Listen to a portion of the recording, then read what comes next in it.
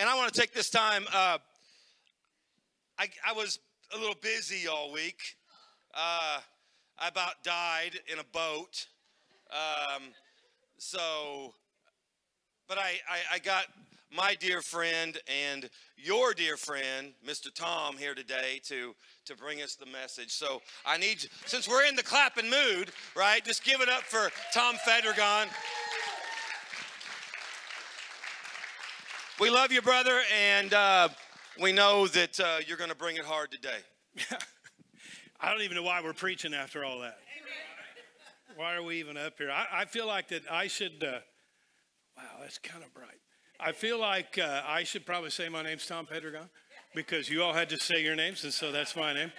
And uh, I, I don't have anything else profound to say other than that and I'm not sure how profound it is. It's good to be back here. It's good to be back in church here. J, JT, seriously, can we dim those a little bit? JT, thanks for letting me wherever you're at because I can't see anything right on. He's back here. Thanks for letting me play with the worship team this morning. That was a blast as well, uh, and that was fun.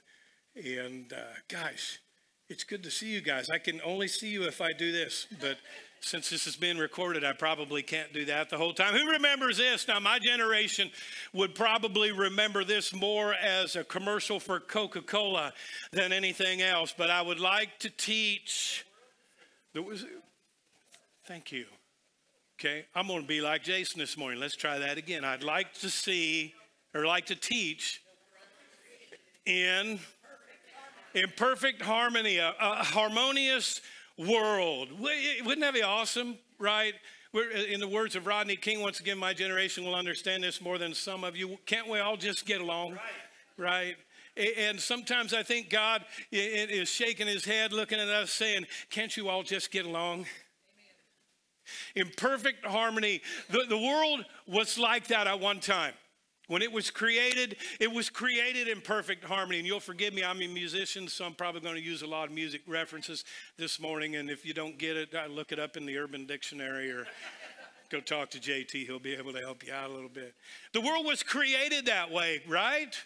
God, God created uh, the, the earth and the water, and then the animals that He put in the air, and the animals He put on the ground, and the animals that He put in the sea, and they all lived together right? They didn't, you, you, didn't have Discovery Channel lions chasing wildebeest to eat, right? They didn't eat each other and things like that. I don't know how they interacted with one another, but it appears according to Scripture they did that in harmony and they did that without any kind of division. They did that without any kind of confrontation. And it was great. And then God puts people on the earth. He puts Adam on the earth and he says, Here, you just take care of it. Okay? You name the animals, you take care of, uh, of the ground, and, and it appears, I think you can make some inferences from Scripture that it wasn't all that hard to do. Who's a farmer who's a gardener in here? I can't see. Who's a farmer or who's a gardener in here? Four of you. I'm using your line again. Like, that's it? Who grows plants? I just spit on you, I think. Who grows plants? All right, forget it. I'm not even using that reference. Then. It's not easy. Let me tell you, I can kill fake plants. I, have got my, where I live. I've got a couple of, of little uh, wire, kind of antique-looking things supposed to hold plants. Right? My sister-in-law gave me because she felt sorry for me for a lot of reasons, which we won't get into. And she, I said, I can't put plants in there. I'll kill them. She said, put fake plants in there. I said, I'll kill them too. There's no way I can do it. And, so, and then God gives Adam Eve, and they live in harmony with one another, with creation, right? And everything was good. It doesn't appear that there was any pain or tears or, or arguing or bickering or, or, or toil, even. And then something happened.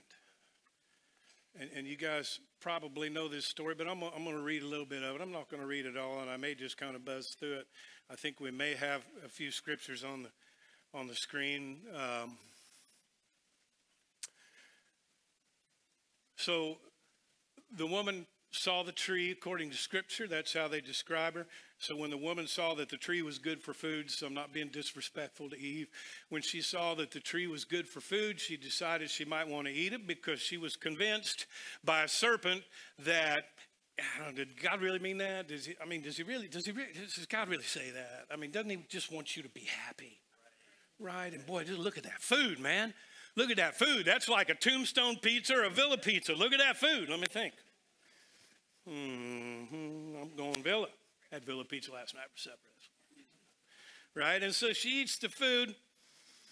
And, and then God comes down and he walks with them in the garden, right? And so this tells me another concept about living harmoniously, right? That God was involved in that process with Adam and Eve in a physical way, even perhaps, as he came to walk with them in the garden. And everything was good, man. Everything was like they sang kumbaya 10 times a day, right?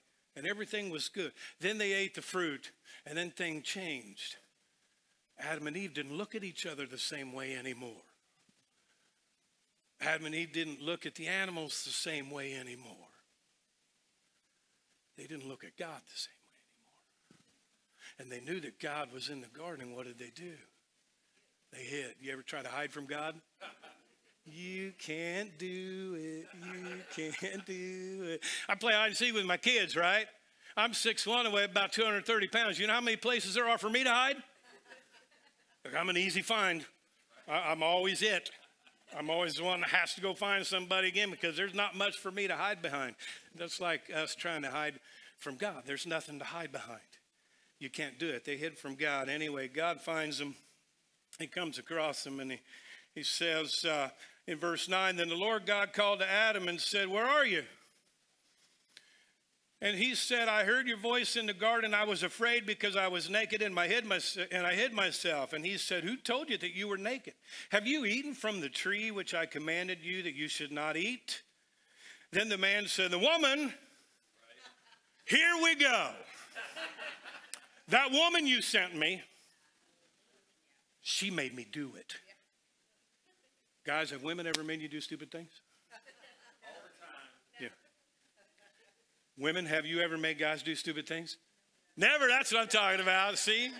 Right? And so Adam says, God, your fault. It's your fault. You gave me that woman. And then God confronts the woman, and the woman says it was the serpent. You know what she's saying? The devil made me do it. Remember Flip Wilson? My generation again? All of you need to Google this stuff. You're taking notes, right? Okay, they're taking notes. Okay, you need to Google this stuff. The devil made me do it. Let, let me tell you something. This is just a little side note, it's a little extra. So find the offering tray when you're done. Put a little more in there. Okay, it's a little extra. The devil cannot make you do anything. He can't make you do anything. He can tempt you to do things. He can entice you. He can make things look really, really good, like that fruit on that tree. But he can't make you do. So if you're using that for an excuse, lame. Right? Here's the other excuse that was used God, it's your fault. You know how many times I've heard this when I was in ministry? You know how many times I've heard this since I left vocational ministry? That's why God made me. He made me a smart aleck. He made me rude. He made me inconsiderate. He made me greedy. He made me prideful. He made me blah, blah, blah, blah, blah. You just keep on going, right? That's just the way God made me, so you're just going to take it or leave it. That's the way old Tom is. Take it or leave it, right? God did, I can't see you. I'd like to be able to see you. God did not create you to be that way. You can't blame it on Him. Once again, you have a choice. But one thing that I want to talk about this morning, I need to keep moving here because Jason stole some of my time. So I need to keep moving here a little bit. One of the things that, that was also created by this event is division. Division. And division in and of itself doesn't have to be a bad thing, does it? There are things in, in, our life and there are things in our culture, there are divisions that are a very good thing. If you drive on the road, lane markings are a good thing. That divides traffic, right? And for all of you who don't know this, because I don't know if it's you that I run into sometimes on the road, but it might be. Those lane markings are for you to keep your car inside of. Okay? Not, The white markings mean that those lanes are going in the same direction. There's just two lanes instead of one. You don't get your half out of the middle. You only get one of those lanes, right? If it's a broken line, you can cross over into the other lane if you choose. If it's a solid line in the middle, that means you're not supposed to cross over that line. The yellow lines mean that the two lanes that are adjacent to one another go in opposite directions. Really bad to cross that one. Okay? Solid yellow line, no passing zone. Who passes in a no passing zone? Go repent right now. You need to go to confession somewhere. Jason will be doing confession after church. You need to go take care. So that division is good, right? I would say even boundaries, you know, for states and countries and stuff like that, in and of themselves, and the reason for the reason which they were created, are also good because it's just a little easier to keep a little bit of order in in that particular area that you, whether it's a state or a country or whatever, with laws, you know, and different things and stuff like that. But here's what we've done with divisions we've made them divisive. Almost the same word, right? We've made them divisive. And so Adam says, That woman. And I'm sure he was over there going, I'm going to hit him in the back of the head when he leaves. I'm going, woo, you, when he leaves? yeah, you better go do the dishes or something to make me happy because you're going to get it, right?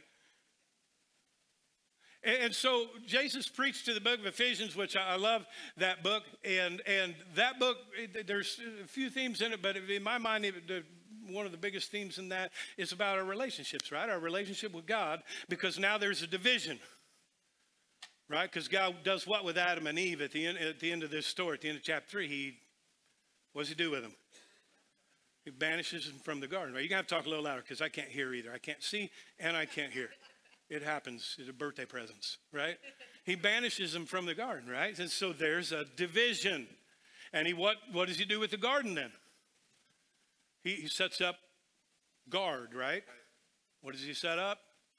Some you people need to read Genesis. You only have to go to the third chapter of Genesis. It's not that far, right? Yeah. So he protects the garden with cherubs or, or, angels, right? With flaming swords. And I don't know about you, but I'm not going to mess with one when their sword isn't flaming. When it is flaming, I'm out. I'm good. I'll just stay right over here, right? And so there is a division. There's also a division. And so uh, one of the one of the themes from the book of Ephesians is our relationship with God. Our relationship with Jesus Christ, right? Ephesians also talks about what else? Our relationship with one another. One another. Matthew chapter 27 in verse 50, the scripture says, And Jesus cried out again with a loud voice and yielded his spirit, which means he passed away, right? He died on the cross. And then, behold, the veil of the temple was torn in two from top to bottom, and the earth quaked, and the rocks were split. And I think sometimes we lose that in the story of the crucifixion. The story of the crucifixion is interesting because it is a story of absolute horror and terror and, and unjust stuff to a degree we can't even imagine, but it's also a story of beauty, isn't it? It's also a story of love. It's also a story of caring and compassion and grace and mercy and all of those things. And I think sometimes in that story we lose we lose this this event right here where it says the veil was torn from the top to the bottom. That veil was the was the curtain that separated the holy of holies, which is where God resided, with the holy place, right, which where people could enter, and then only priests could enter, right? And, and there was a distinct separation, and that veil is torn. And you know what that means for you and me now? You've got that figured out that you, there's no separation anymore, or there doesn't have to be. Let's, let's leave it at that. There doesn't have to be a separation anymore, that we are allowed now into the presence of God. I don't care where you're at, I don't care who you are. And Paul's going to talk about this in Ephesians, the latter part of chapter 2. Let's get ahead and get there and get moving on this. Ephesians chapter 2 and verse 11. Thank you for the last minute scripture on the, uh, on the uh, slides, too, by the way. It's awesome. Ephesians chapter 2 and verse 11. Therefore, remember that once Gentiles in the flesh, who are called uncircumcision by what is called the circumcision, uh, made in the flesh by his hands, that at a time you were without Christ, being aliens from the commonwealth of Israel and strangers from the covenants of promise, of promise, having no hope without God in the world. But now in Christ Jesus, you once you who once were far off have been brought near by the blood of Christ. Okay, so here's what Paul's saying. The Gentiles and the Hebrew nation, the Jews and the Gentiles did not like each other. So there's a division, right? And, and I know it's all, you know, fashionable just to say, well, people are people, and I just love everybody. Really? Really? Because I don't. Well, I love everybody. I don't like everybody. Oh, I don't like Harleen, but I like Wheeler. I'm trying to get him to adopt me, but he won't. I don't eat that much. So these people that Paul are talking about are the Gentiles. These are the non-Jewish, the non-Hebrew people, right? And they were excluded by the Jewish people from the covenant, from God, basically. They were allowed into the temple, but just the very outer part of the temple, and they couldn't cross into the next part. There was a wall. There, Pink Floyd said, all in all, it's just another brick in the wall. There were a lot, there was a lot of bricks, right, in the temple. A lot of music stuff. A lot of bricks in the temple, right? And they weren't even allowed past just the kind of the very outside of the temple. And I'm sure that if the Jewish people would have would have had their druthers, they probably wouldn't even have made it that far in. They were excluded because of who they were, because of their nationality, because of their race. You ever been excluded for no other reason than because who you are? Or maybe where you're from? It's, it's, it doesn't feel good, does it? It doesn't feel good to be left out, especially left out of something good the presence of God the love of God, especially to be left out of something good for no other reason than this because of who you are or where you live. You're excluded. You're excluded. It's like Illinois fans who hate Indiana fans. Right? So who's, who's Indiana fans in here? Good. I was just getting ready to excuse you. right? Or like in some cases, I'm not this way, Cub fans who hate Cardinal fans, or Cardinal fans who hate Cub fans, just because of that. Or, or, or, people who drive trucks who hate people who drive Priuses, or people who, you know how to say Prius, right? Don't know them.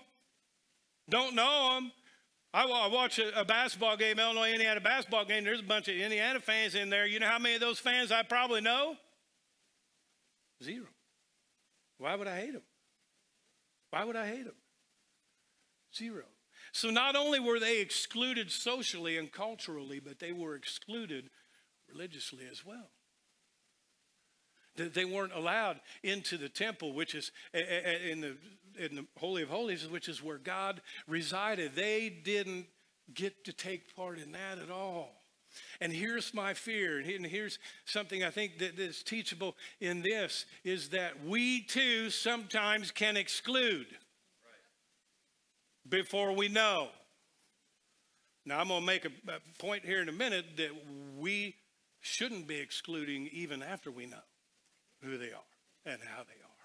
But sometimes we exclude before we know, and to be quite frank, sometimes we're the worst when it comes to that. And that's why we get the rap that we get sometimes. Because we just, we don't, I mean, we kind of want, we're okay with God loving them, but He just love them over there.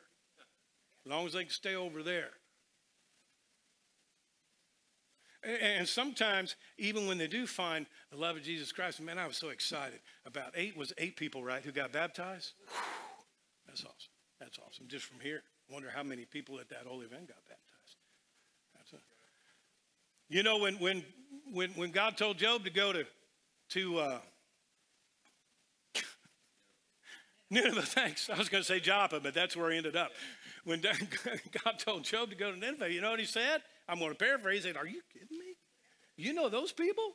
They're a bunch of drunks. They're a bunch of cheats. They're a bunch of liars. They're no good. They don't bathe regular. I don't think anybody did back then. They don't blah, blah, blah, blah. I, I can't stand those people. Why would I want to go over there? I don't want to share you with them. I don't want to share you with them. Anybody ever, you ever had a conversation with somebody about sharing heaven with people? Mm, ouch. I don't want to share heaven with someone like, I don't know, John Wayne Gacy. I don't want to share heaven with someone like, I don't know, Jerry Epstein. I, I, I mean, I can go on and on. I'm not going to bash people because that's not what I'm up here about, but you understand what I'm saying. I, I don't want to share heaven with Aunt so and so. She's been nothing but mean to me since I've been alive, and she's been alive. Why would I want to share heaven? I can't even think about sitting across the table from them. Are you kidding? And we exclude simply because of who they are. And these people had no hope whatsoever because of that. As a believer, that should break your heart. As a believer, that should break your heart. Someone who's outside of the love of God won't even get invited to see about the love of God simply because of who they are or where they're at. And I'm just going to tell you if Jesus was here today, he wouldn't be here. If Jesus was on the earth today, that was grammatically horrible. Right, Karen? Help me out. You got to keep me straight, man. If Jesus was on this earth today, he, I don't know that he'd be in here this morning unless he was the one teaching. You know where I would think he would be? Where the people are that are broken where the people that are not that we're not broken in here, but you understand what I'm saying, where the people that have never been invited into the love of God, the people have never even been considered in those kind of cases. Where are we at? Where are we at? How are we doing? Are we doing that? Are we good with that? I can't talk to anybody about Jesus. I can only quote two Bible verses off the top of my head. You've heard me say this before, and I mean this from the bottom of my heart. You don't need to quote a bunch of Bible verses to talk to people about Jesus. They're probably not going to listen anyway. They're probably going to hit you in the head with your Bible. What you do need to do, though, is just tell your story and how it's affected you. That's what people want to know. How's it affected your life, Tom? How's it affected your life, Jason? How's it affected your life, Jill? How's it affected your life, Jenny? How's it? I'm using all kind of J's right now, aren't I? I'm Just going through, just going through J names right now, right? How has it affected your life? Well, I got to move on. For he himself is our peace. He has made both one uh, and has broken down the middle of separation, having abolished his flesh, the enmity, that is, the law, the commandments, and ordinances, so as to create himself one new man from two, thus making peace, and he is and that he might reconcile them both to God in one body through the cross, thereby putting death to the enmity. And he came and preached peace to you who were far off and to those who were near. For through him we have we uh, both have access to one Spirit to the Father. Here's, here's what this is. I'm going to just kind of sum it up quickly. Jesus is saying that part of the reason I died on the cross and rose from the dead is so that we can be in peace with this. So that we can be reconciled with God our Father. The veil was torn, and now we can be in the presence of God our Father. We can, we can seek forgiveness. We can seek uh, uh, comfort. We can seek peace. We can seek uh, guidance, whatever it might be, and we probably all need a healthy dose of all of that, right? Anytime. Anywhere. You have been allowed into his presence. You don't have to be just a member of this church to do that, or just a member of, of that one over there, or this one over here, or that one over there, or not a member of a church at all, or not even a believer. Uh, uh none of that matters. That separation is gone in the eyes of God. Is it gone in your eyes? Is it gone in your eyes? It is in the eyes of God. And if you call yourself a believer, then you ought to have a heart for what God has a heart for. So if it's gone in the eyes of God, that's what this part of this scripture is saying. It also ought to be gone in your eyes. I imagine it was a very difficult thing for Hebrew people back then to accept, accept Gentiles as their equal in Christ. Paul wrote a letter about that, about a slave, didn't he? Wrote a letter to the slave's master. Said, I know, I'm paraphrasing again, I know it's Philemon if you're not sure where I'm at in the Bible. I know that, that he's a slave, and I know, but he's your brother in Christ now. So here's what that means He is no different than you. None. No different than you. You may have a different occupation, may not be as tall, may not be as short, may not be as thin, may not be as thick. Notice I said thick. he, he may not, whatever, right? But, but in God's economy and in the eyes of Jesus Christ, who died for everyone, for everyone, right? It's no different. It's no different. And I think we would do well, I think we would do well to adopt that attitude with people. I think we would do very well to adopt that attitude with people. Now, therefore, we're, we're going to we're gonna finish. I can't even see the clock. What, what, time, what time do I have to shut up? Now, what time am I supposed to be done? Huh? That hurt. That hurt a little. Now, therefore, you are no longer strangers and foreigners, but fellow citizens with saints, with the saints and members of the household of God, having been built on the foundation of the apostles and the prophets, Jesus Christ Himself being the chief cornerstone, in whom the whole body building being lifted or being fitted together grows into a holy temple of the Lord, and in whom you also uh, are being built together for the dwelling place of God in the Spirit. Here, so here, here's what Jesus is saying He's saying that you are now part of God's family, right? You, you, and, and that's good. And we're building this thing. We're building this thing, this temple for the Holy Spirit to reside. We understand that in Scripture teaches that our body is temple of the Holy Spirit, right? But so is our belief, so is our community, so is our, our, our, our church family, so are we together. And we're building this temple in perfect harmony. In perfect harmony. You, you come on. Jesus was asked, I'm going to close you with this thought. Jesus, because I got a lot more to say, Chris. No. I already got scolded. Jesus was asked this. This is so profoundly important to me. And the reason it is, is because it's so profoundly important to Jesus. The wall's been torn down. This, this exclusion stuff, these divisions have been torn down by the blood of Jesus Christ, right? So the, if they exist, and they do, and they do, and they do, they're man made, it's us.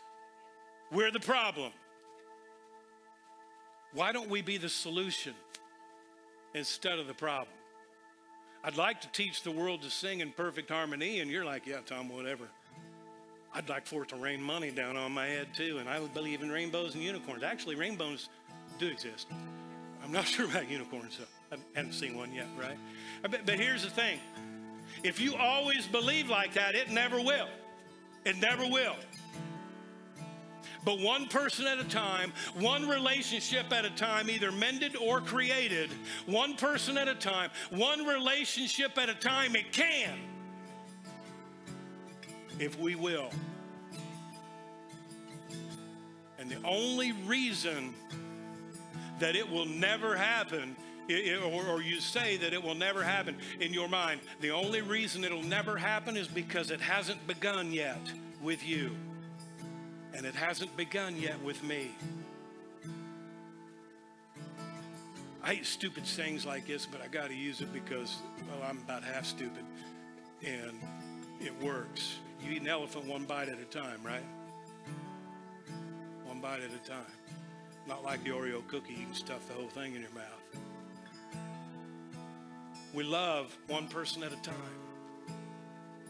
We ask one person at a time.